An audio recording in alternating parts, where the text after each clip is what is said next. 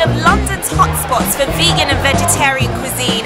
The deputy manager, Louis, is going to be showing me around and giving me a good idea of how to eat a healthy, happy, balanced vegan diet whilst I'm out and about. Let's go and find him.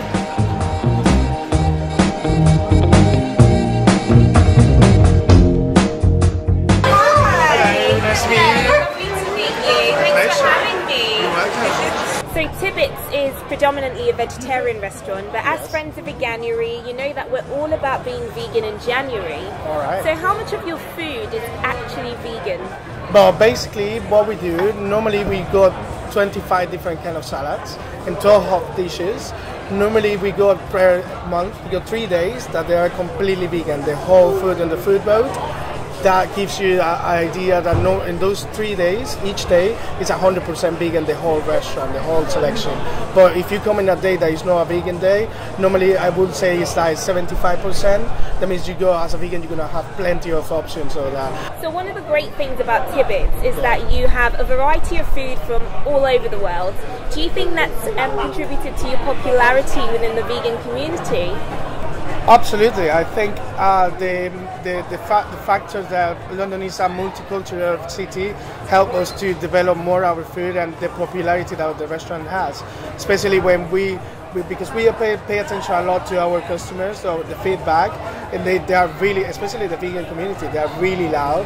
And then when they want to say something, they really say it. And we pay attention is kind of like a tool for us to develop our all our food and the options that we're gonna give to them. So I'm originally Nigerian and we love our meat. And now that I'm doing this vegan challenge, I can't eat meat anymore, which was the major source of my protein. So what are my options in terms of having a balanced diet that involves protein? It's a common question from like meat eaters basically because um, they say okay where are we gonna get all the proteins that normally we get from the from the meat but they don't even realize that it's in all the vegetables like like carrots like potatoes uh, even parsley parsley actually has more protein than the actual meat Okay, so this is my favorite bit. Every time I go out, I love to have dessert, but obviously, being vegan now, I can't have dairy. So, what options do you have um, in your desserts that are vegan friendly? we got the our homemade cakes we got the mango coconut cake which is really popular we got the lemon drizzle cake that which is really really popular as well My mouth is like watering already. Alright.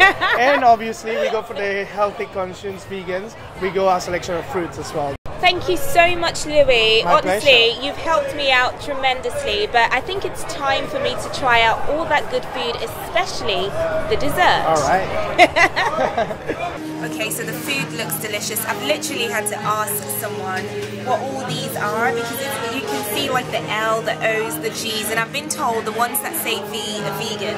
So it means I can have a potato chestnut ragu. I'm not sure if that, that's how you say it, but it looks good anyways. I'm gonna have it. It looks very yummy. Gosh, that looks really nice. I don't even know what's in it. Oh, that's cheese. Can't have that. Uh, how